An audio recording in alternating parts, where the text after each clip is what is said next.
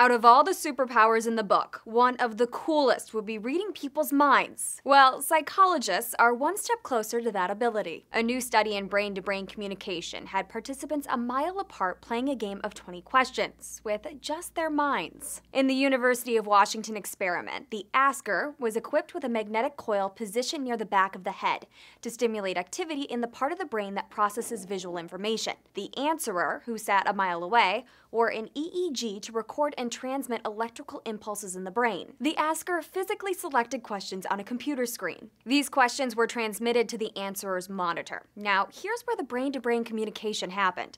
Flashers representing yes and no below the screen were set at different frequencies, and the answerer's EEG machine recorded the frequency he or she focused on. Then, that frequency was transferred back to the coil behind the asker's head. Only a yes frequency was strong enough to create a flash of light, but only the asker could see the flash since the signal was going directly to the occipital lobe. The asker played the game knowing a yes meant a flash of light, and if nothing happened, that was a no. The researchers reported askers correctly guessed the object in question 72% of the time. The lead researcher called it the most complex human brain to brain experiment to date.